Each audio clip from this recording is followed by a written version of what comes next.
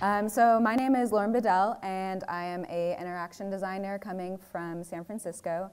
And I currently work at a design and innovation firm called Matter. And today I'm going to be talking about embodiment or designing for the human body in XR. And just a quick poll, how many of you guys are designers or developers actively working within the field? Raise of hands. All right, awesome. Glad to see you guys all in the room. So I'm sure you all understand that we are currently seeing this shift from this era of mobile computing into an era of spatial computing. And with mobile computing, we're given kind of this extreme portability, yet we're confined to a certain amount of real estate on our screens. And as a result, our body-based interactions are reduced down to the ability for our fingertip to glide and tap across a piece of glass. So our screens are always in our pocket, they're always in, within reach, um, and they've become our window into the digital world. But with spatial computing, this is all changing. With spatial computing, we see the space around us um, as now our playground and our medium to interact with the digital world.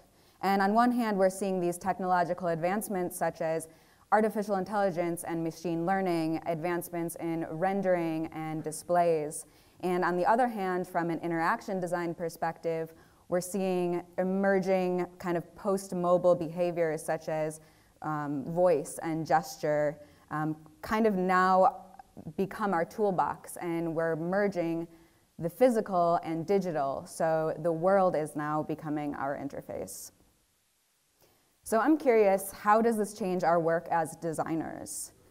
Um, I think first and foremost, spatial computing now means that the digital experience is now an embodied experience. So we're going from something more like this to more like this. And I think it's no longer about um, the way that our fingertip interacts with a piece of glass, but it's more about the human body in 3D space. And more specifically, it's about the human body in 3D space over time. And let's for a minute just kind of look at different other existing fields of study which concern body, space, and time. And we see things such as industrial design, architecture, sculpture, dance, set design, cinematography. And if we begin to classify these into body, space, and time, what we get is something very interesting. Um, we get in the middle here, you know, you see this marriage of body, space, and time with interaction design for XR, along with the fields of dance and choreography. And this is something particularly interesting to me because in addition to being an interaction designer, I'm also a dancer and choreographer. So I feel as designers, as we enter this new medium, that there is a wealth of knowledge within the field of dance um, and choreography to inform our design practice. So I'm curious, as we now kind of need a new breed of designer to navigate the three-dimensional world, how can we leverage um, theories and concepts from the field of dance to inform interaction design for XR? So today I want to introduce um, the designers in the room just to some key concepts and terminology um, just to give some exposure as well as to kind of start a conversation as to how we can bring these practices into our work. So I want to categorize things by um, four different areas, body, space, shape, and effort. And these four categories are actually part of an existing framework called Laban movement analysis, which was created by a gentleman named Rudolf Laban in the early 1900s. And what he did was he created a framework to document, um, analyze, and describe movement, not only for the field of dance, but he also brought it into education, he brought it into business, um, and interestingly enough, he also took it into factories and assembly lines and looked at how people were um, physically doing a task and would offer kind of recommendations and guidance as to how to appropriately move their body in space in order for the most natural and efficient um, interaction. So when we talk about body and space, what we're really looking at is how is the body organized in relation to the environment? And kind of one key concept relating to the body I want to talk about is this idea of kinesphere. So it's this idea of knowing kind of the space around you that you can reach out and, and occupy without changing your feet in space. Um, and I think an interesting example of this is um, tilt brush. So this is a, tilt brush was kind of a memorable experience for me because it was the first time that you saw people actually out there and exploring the space around them and, off, and actually getting this rich visual feedback of how they were infecting the environment. Um, and you can see here with the tilt brush example that um, the feedback is occurring, the action and the feedback is occurring within the kinesphere. And to kind of counter that, we also see interactions such as on the right-hand side where the action and the feedback are divorced from the kinesphere. So the feedback is occurring outside the kinesphere, yet we're manipulating it and doing a gesture from inside the kinesphere. So it's interesting to think about kind of these zones of interaction and how we can bring content um, closer to the kinesphere and what are the implications of that versus um, putting objects farther away from the kinesphere, um, what is kind of the implication of, of farther objects. Another concept I want to talk about is something called developmental movement patterning, which is kind of this evolutionary and neuromuscular framework for organizing the body. So a lot of us talk about um, how do we bring natural interactions into XR? How do we how do we create something that everyone kind of understands? And if we go back to basics, this is a framework that looks at, from an evolutionary perspective, how you begin to learn certain types of movement. So things such as um, head-tail is looking at spinal movement, things such as core distal is looking at how you radiate out from a center, um, looking at cross-lateral, think of kind of how you're walking in space. You normally step with your right foot, and put your left hand out. Um, so things like that are, we've grown to kind of learn over time. So I'm interested to know how we can start to use kind of those neuromuscular frameworks to begin to design spatial interactions. Another framework I want to talk about is this um, idea of Laban notation, which was created by Rudolf Laban and it was a framework designed to document human movement over time and space. So what we have here is a series of symbols um, coordinating to different parts of the body, but also different directions in space as well as levels in space. So we have this kind of rich lexicon of symbols which then are put together, um, similar to sheet music you can see on the right.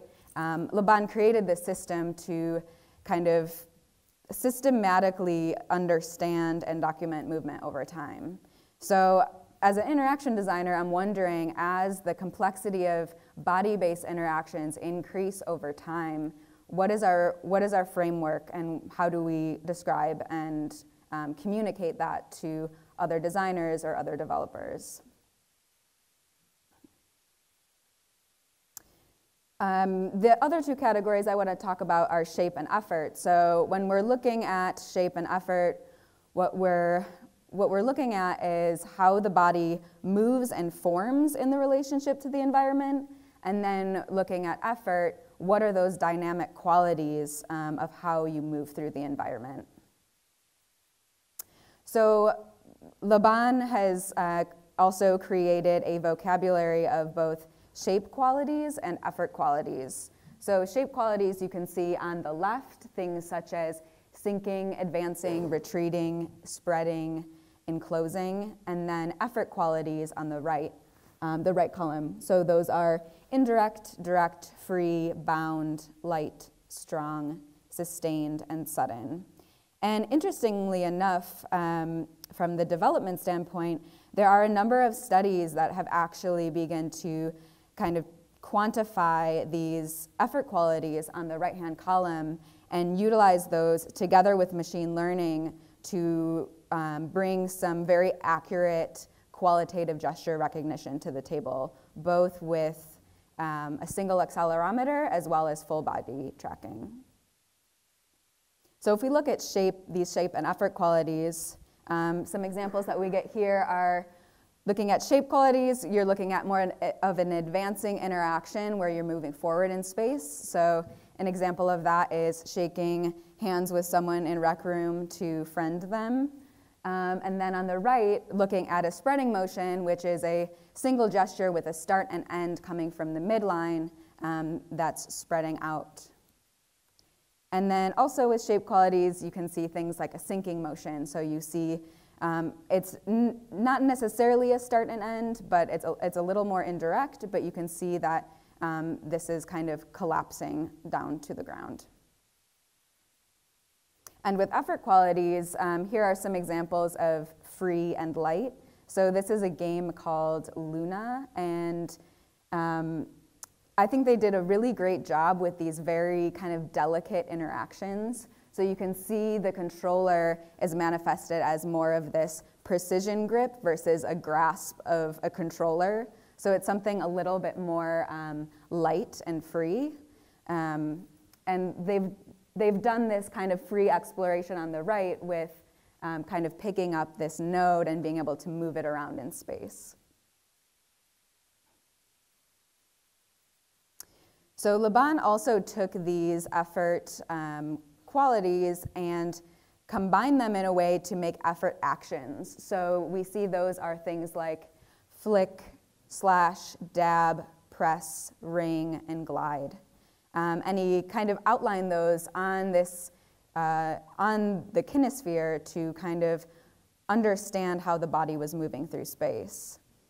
And something interesting from a dance and design perspective with this is looking at um, this column on the left, you can see how those words, slash, punch, um, glide, float, kind of remind me of um, the 2D touch mechanics that you would get on a phone. So things like tap, click, press, flick, drag. Um, but I'm wondering how we can start to use these actions and vocabulary that imply three-dimensional interaction and kind of add them to our lexicon as designers.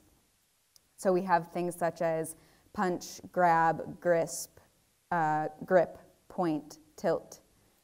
Um, so from all of these four categories, we kind of have this rich lexicon um, of knowledge here that can be applied to the interaction design practice. So I'm curious to see how, as the complexity of interactions increase, how we can begin to take these words and kind of codify certain concepts and create a framework around spatial interactions. So in summary, um, spatial computing is this new territory for designers. And I urge us to not simply just place 2D UI in 3D space. There can and could be a time for that, but I think designers need to understand, first and foremost, the, the body itself as an input mechanism, um, and then begin to explore the possibilities from there. Thank you.